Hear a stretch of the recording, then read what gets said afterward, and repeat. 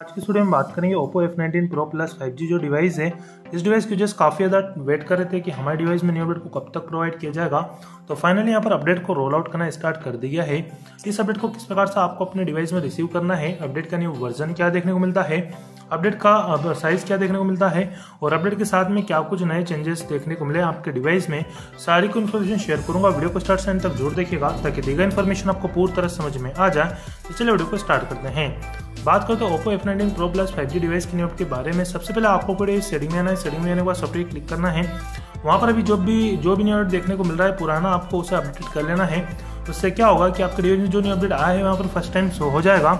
तो न्यू का वर्जन आपको यहाँ पर एफ़ डॉट फिफ्टी का देखने को मिलेगा लास्ट में। अगर आपको एफ़ डॉट फिफ्टी का न्यू अपडेट अभी तक शो नहीं हुआ है तो आपको within five working day का वेट करना है, उसके अंदर अंदर ये अपडेट भी आपको आपका डिवाइस में देखने को मिल जाएगा। अपडेट की साइज़ के बारे में बात करें तो नौ सौ के आसपास अपडेट को प्रोवाइड किया गया है मतलब आठ सौ चौरानवे के आसपास, जो कि बहुत बढ़िया बात है। इस आउट के साथ में लेटेस्ट सिक्योरिटी पेज को प्रोवाइड किया गया डिवाइस की ओवरऑल परफॉर्मेंस को इंप्रूवमेंट किया गया है। डिवाइस की स्पीड को इंप्रूवमेंट किया गया डिवाइस की जो बैटरी लाइफ है, उसे इंप्रूवमेंट किया गया है। डिवाइस के नेटवर्क के सेक्शन में काम किया गया है यहाँ पर नेटवर्क आपको कम ज़्यादा हो रहा था, उसे भी यहाँ पर सोल्व किया गया है।